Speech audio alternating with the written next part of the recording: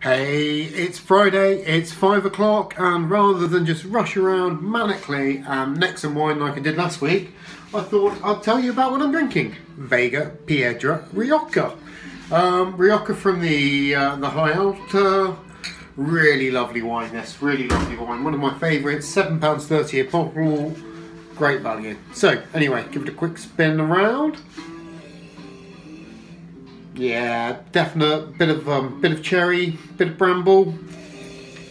Let's have a quick look now. Lovely ruby colour. Can't see straight through it, so it's going to be medium bodied, but you can see a little light through there. So it's not it's not full bodied. It's not heavy. It's legs. Legs you probably won't be able to see. I can see, and it's got a few. So I'm guessing what about 13% ABV. Let's have a quick look. Uh, 13% ABV. Okay. Well, so Vega Piedra Rioja Tinto.